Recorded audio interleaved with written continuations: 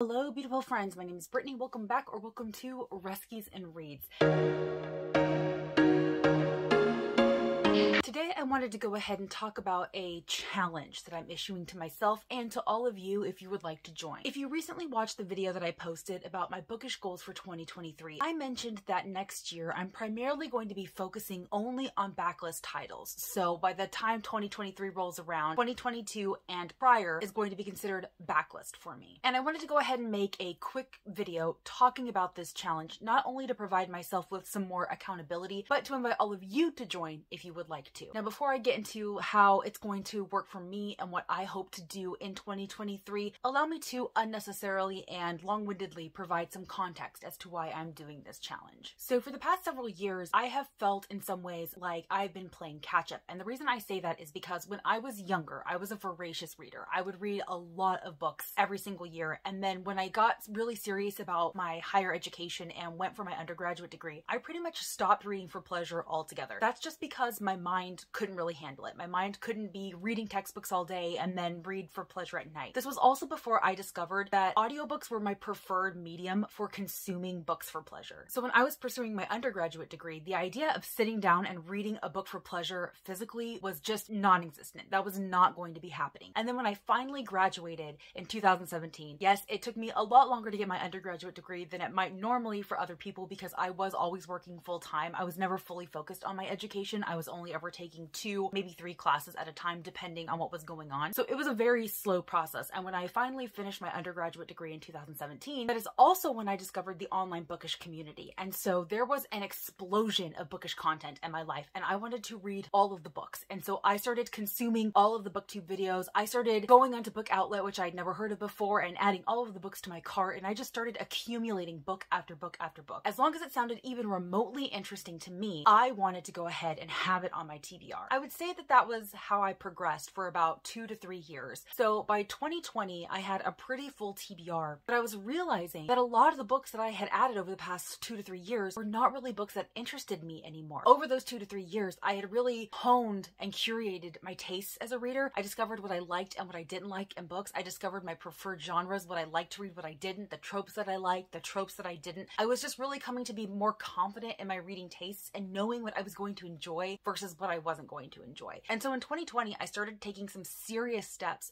to lowering the amount of books on my physical TBR. I made pretty strict rules for myself in terms of what books I was allowed to bring into my home versus what I was not allowed to bring into my home. And for the past two years, I was very successful at those goals. And I got my physical TBR down to an anemic level. I had about 30 books on my physical TBR before a recent haul that I did that bulked it back up. But the only reason why I allowed myself that haul was because my physical TBR had gotten so low and because I knew that what I was bringing in were books I was so extremely excited to read. So they were all carefully thought about before I made the purchase, which was another goal of mine was I wanted to become really mindful about the books that I brought into my home. And then I started to think about how now that my physical TBR has been dwindling down and it is a lot more curated, I started to think about all of the books that are on my radar that I do really want to read that I don't physically own. There are approximately 300 books on my virtual TBR at this point, which I know is a fairly small number for a lot of you. A lot of you are thinking only 300 books. What's the big deal about that? But what I'm concerned about is that these 300 books, which are primarily backlist titles, so titles published in 2022 or beyond, because we're thinking about 2023 now, so I'm considering 2022 and prior all to be backlist. Since the vast majority of the books on my physical and my virtual TBR are backlist titles, I know that if I don't focus on them and I don't prioritize them, that list is just going to continue to stagnate or grow with backlist titles, especially if I decide to focus purely more on new releases in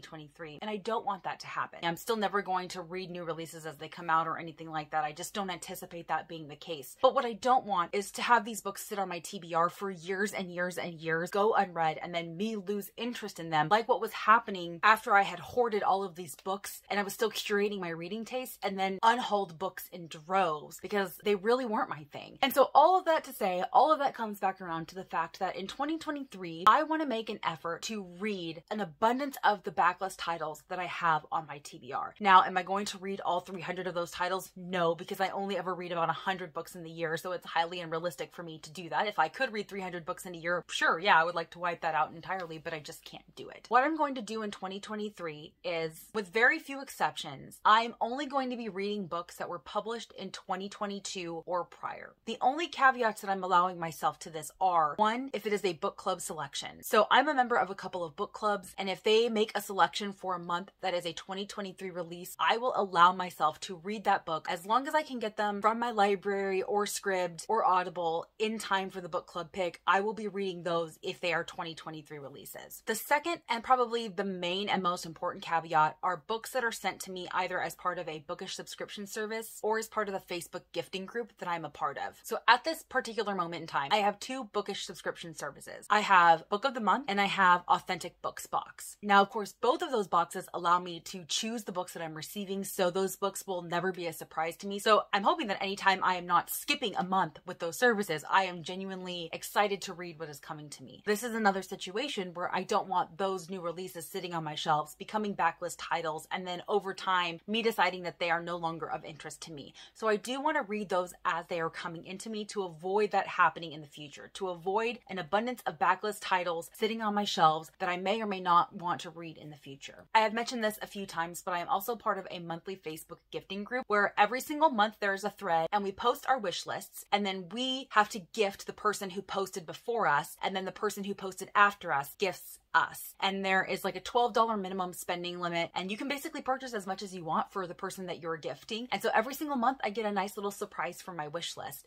And a lot of the time, those are backlist titles because, like I said, the vast majority of my wish list and my virtual TBR and books I don't own are backlist titles. But there are new releases and pre orders that I do have on my bookish wish list. So there is still every possibility that I will receive a 2023 release as a Facebook gift from that group. And so, again, if those come to me, I will want to read them as they come in. Just in general, any books that are sent to me, I want to read them as they come in so that they are not sitting on my shelves. But really, those are the only two caveats that I have. Everything else that I pick to read in 2023 has to be a backlist title. I just checked my Goodreads want to read list, and the backlist titles that I have are 268. I do currently have 25 2023 releases that I want to read as well, so we're not going to count those. We're just counting 268 backlist titles. And my goal is to wipe about a hundred of those away. Now, that doesn't necessarily mean I've read all 100 of these books. That just means that 100 of the books are no longer on this list. So if I read them successfully, if I attempted them and DNF'd them, or if I just decided that I was no longer interested without even attempting them, all of those will be considered getting them off my list. So I don't have to successfully read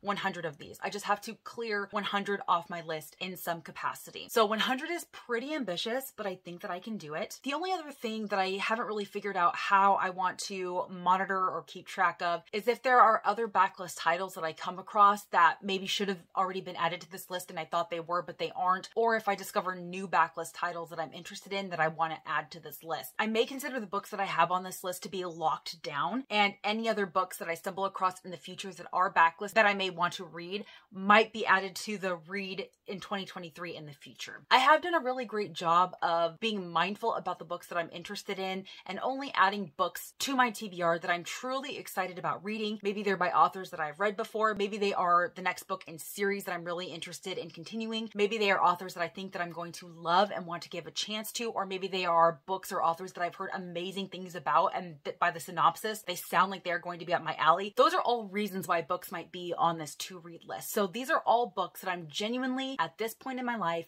super excited to read and I want to maintain that excitement. I want to maintain that freshness. And that is a whole reason why I'm doing this challenge. So if I come across backlist titles that I am this level of excited about, and I do really think that I want to read them in the future, I will either add them onto this backlist or keep track of them to add them for the future. I'm not sure, I haven't really decided, but I'll cross that bridge when and if I get to it in 2023. But for now, that is really it. This is just a super simple challenge that I am setting for myself in 2023 to meet a goal of lowering the amount of backlist books that I have on my TBR. And I wanted to go ahead and invite all of you to participate if you think that this is something that you might want to work on yourself. Maybe you can make your own rendition of this challenge for 2023. And if you do, I would really love to know what you decide to pursue for 2023, what rules you have set for yourself, what caveats there may be. Are you going to be strict? Are you going to be flexible? How are you going to do this? How are you going to battle your backlist? But that's really all that I have for this video today, guys. As always, if you like this video or if you just like me, please be sure to give it a big thumbs up and subscribe if you haven't already, because I would sure love to see you in my next video. Bye, guys.